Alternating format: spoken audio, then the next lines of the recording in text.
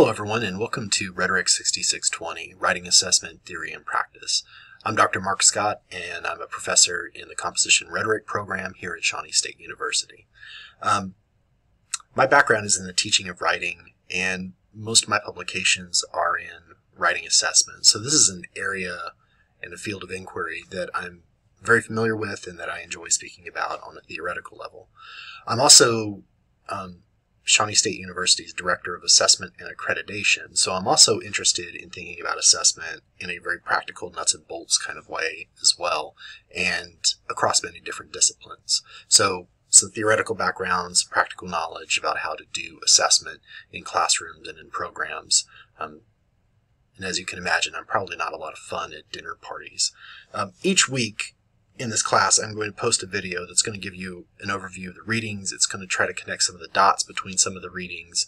I'll try to give you a heads up of what's coming um, later in the term. And with the readings, I'm also going to maybe direct your attention to places um, where you really do need to focus and other places where you maybe don't need to read quite as intensely um, or as closely.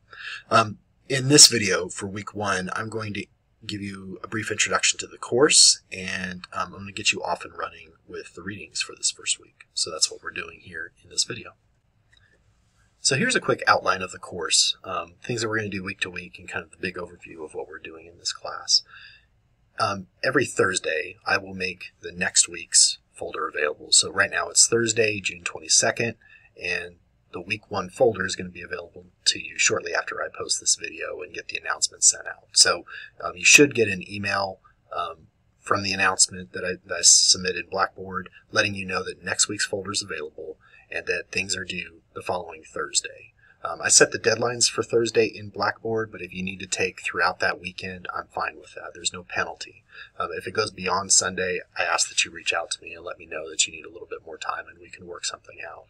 Um, so Thursday, the following week's folder is available, um, and then you have the rest of that that next week to submit your work. And then, of course, the following Thursday, uh, you'll get another email saying week two is available, so on and so forth. Um, I put together this video each week that kind of gives you a summary of what we're working on. Again, like I said, I make some connections between the readings, talk a little bit about how these readings are going to help us with the major assignments. The major assignments are due in week four, in week seven, um, and you can find information about the first major assignment in the week one folder. So let's go there and I'll show you around a little bit in the Blackboard site what we're doing and what the weekly folders look like. So this is what our site looks like. Pretty similar to the other sites in the program. And if you've had classes with me before, I try to organize things in roughly the same way. So top left here, um, if you want just one place to start with, click the start here, course information um, link that will give you a link to the syllabus, some course policies, um, other information about the course, and uh, there will also be a link to the first week. So if you just want one place to go to begin the course, start here. Um, homepage, that'll just take you back to this, available on every page. Current week, um, this is our first week, and I'll talk about that here in just a second.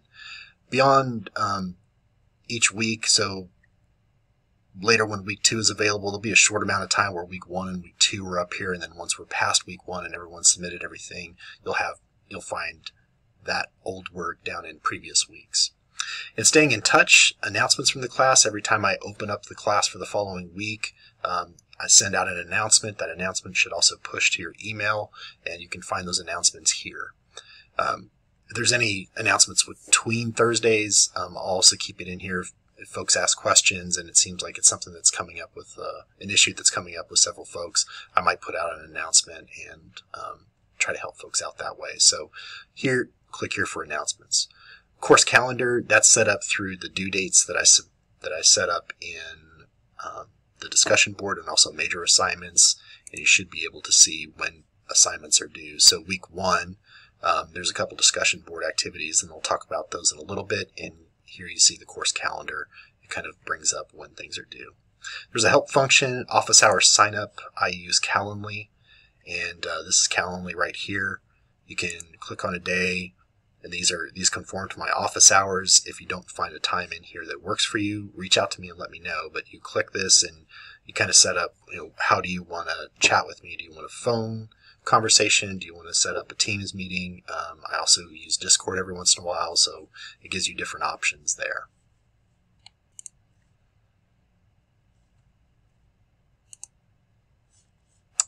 Okay, so our sign up. Um, the, the discussion board, if you want to see all the discussion boards that we've had in the class so far, you can click that link. Um, it's showing you the first two, and then there's going to be a bunch that's not available to you when you when you open it. Um, it'll just have the current weeks and the previous weeks available here in the discussion board under the discussions. Library resources, links to major assignments. Um, the first one is available. You can take a look at that. Um, the project two will be available in not in not too long, in a couple weeks, um, so you can see what's due at the end of the term.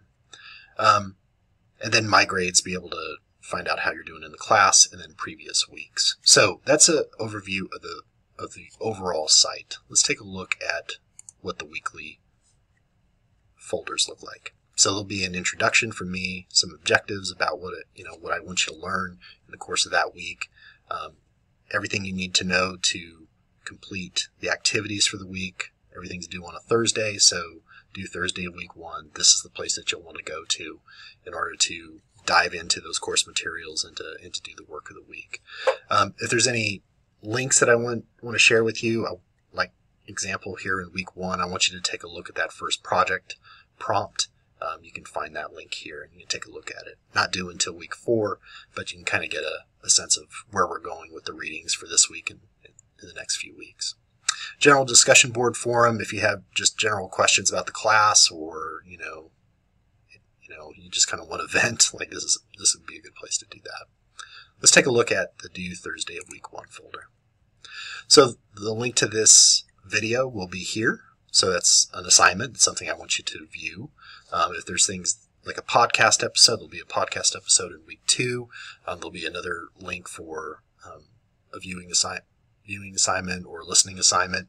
Um, the week one readings, click here uh, course syllabus, Huot, O'Neill, and Moore's usable past for writing assessment, and then Kathleen Yancey's historicizing writing assessment.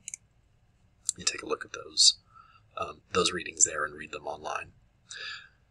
Once you've read what I've assigned and listened to what I've assigned, or you know viewed a, a video, then you're ready to do the work of the week. Um, discussion board activity one for week one is kind of the, the standard fare in terms of introducing yourself.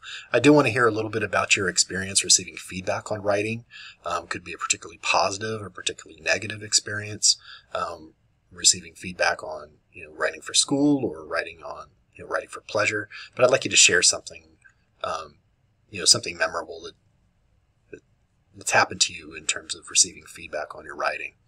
Um, so that's part of that's discussion board activity one, and then part two is thinking about those readings, the Kathleen Yancey and the Huot, O'Neill, and Moore. Uh, they're both histories of writing assessment, and I want you to think about those histories of writing assessment and kind of position yourself in them. And there's a prompt here that kind of explains that. Let me switch modes on you for a sec.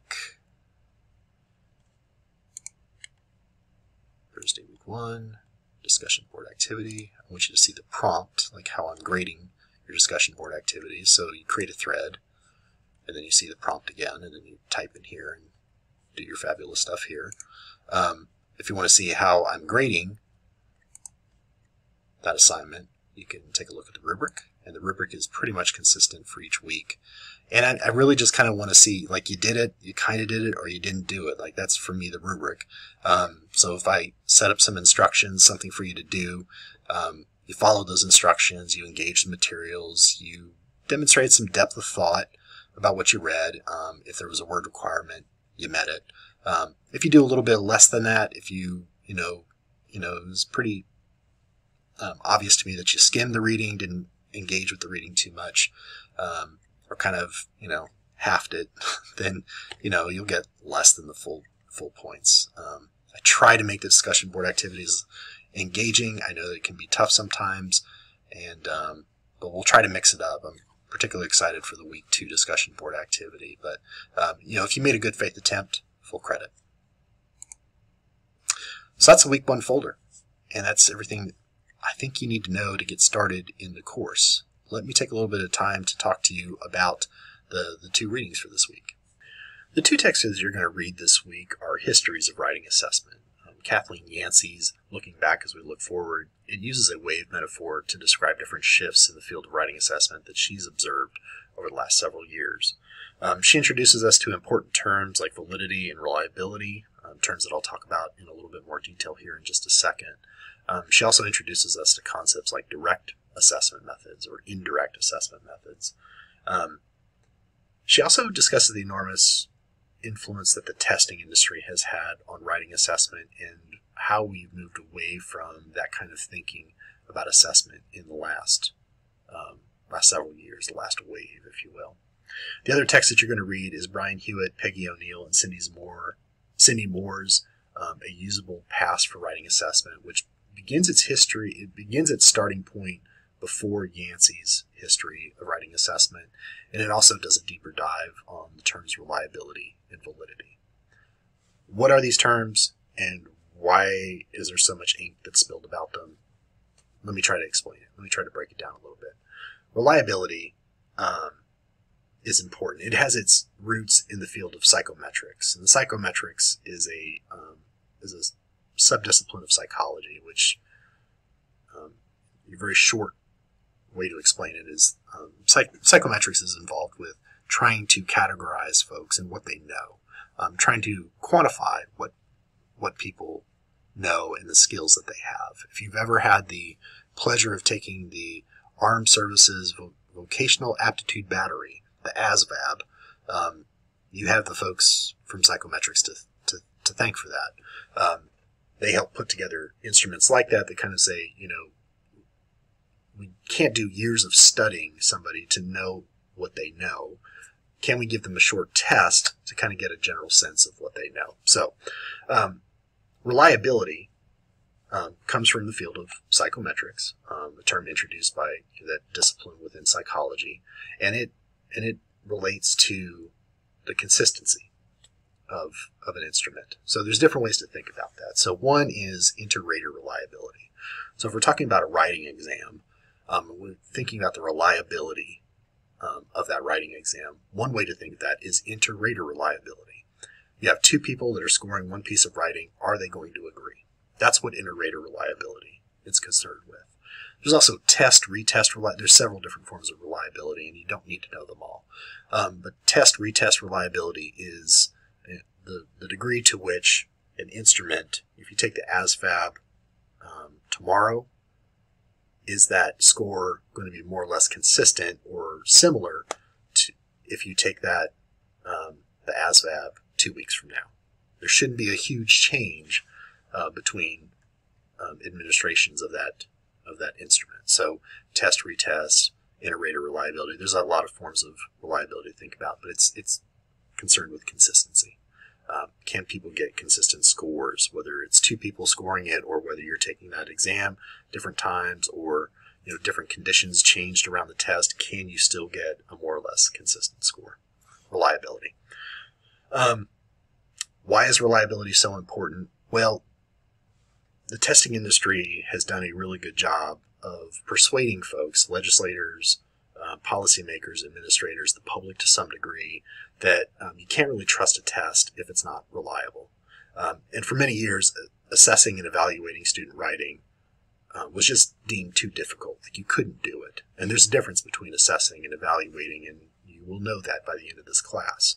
Um, but it, but just assessing student writing was often deemed just impossible. Like there's no way that we could do it. Um, you couldn't get folks to agree. There, so there wasn't reliability. Um, and two, it was just super expensive. You know, to get people to score double blind scoring student essays and to get them to agree that that takes a lot of money, a lot of training, and a lot of time. Um, so because reliability is difficult and it's expensive, testing companies p- spend a lot of time um, creating instruments that served as proxies for writing ability. So a timed writing exam that could be scored by an algorithm or what was more prevalent, particularly when I was coming up in school, and maybe some of y'all had this experience too, vocabulary tests, um, um, multiple choice exams serving as proxies for writing ability. They did that because reliability was just too difficult to obtain. Um, it was very reliable to get somebody to take a um, a multiple choice test. There's going to be pretty reliable scores. You get them, you know, here's 10 questions out of a bank of 100. We're giving you another 10 questions out of that bank of 100. They're more or less the same difficulty. Your scores are going to be more or less the same. They're reliable between administrations of that. Um, people who were closer to the classroom, so teachers, educators, um, critiqued the validity of such examinations. Um, so validity, in short, is whether or not a an exam, an instrument, a test, an assessment, an evaluation, to what degree is it measuring what we want it to measure? Is it actually measuring writing ability? Um, if you're trying to measure writing ability, for example, is it really valid to use vocabulary as a proxy? Um, and like reliability, there's a lot of different ways to take a look at validity. There's internal validity um, that involves different aspects of a test. Does the context of a test impact student performance, for example? If the test is trying to measure something like writing, does the test have a robust understanding of that task and address different components of that task? Um, we'll read about this work later in the term, but other scholars have inquired about how socioeconomic factors have impacted the validity of writing assessment. We're beginning with these readings because the tensions described in these in these readings they remain. Um, the field of writing assessment has found some some common ground, and there's some agreement about what's important to us as folks that are professionals in the field of writing assessment and scholars in the field of writing assessment. But there's there's still a pretty robust conversation and disagreement and tension between folks in writing assessment, which is made up mostly of teachers and teacher scholars, and the field of psychometrics and the folks that are in the testing industry that say we think that you should place students using these instruments that we we tend to disagree with in terms of how valid they are in actually assessing student writing. So we're beginning with that because these tensions they do remain, um, and particularly in the advent of machine scoring. Um, you know, I'm not a betting man, but I think that these tensions are only going to deepen as anxieties about ChatGPT and AI um, and other comp- and other um, technologies they further complicate writing assessment. That's a lot for your first video. Um, each week, you can expect expect me to share some of my thoughts about the readings for the week, try to make connections between the readings and what it is that we're going to do, um, and tie those readings to how we're going to use them later in the term. Um, of course, I'll respond to your posts on the discussion board, and I'm looking forward to, to reading what you think about these readings. Um, just so you know, um, your first major assignment, again, there's a link for that in the week one folder. Um, it's you um, analyzing, breaking down your thoughts about a position statement about writing assessment and connecting it to things that you've read. So the things that you're reading this week, they're important, they matter, and you will want to make sure that you're bringing them to bear on that first major assignment that's due in week four. So take good notes, um, have a clear understanding of what's going on, ask questions if you don't understand what's going on in the reading, um, so that you have a good body of knowledge to draw upon for that first major assignment. That's it. You made it through this really long video. Thank you for your time. I appreciate it. I'm very much looking forward to working with you this term.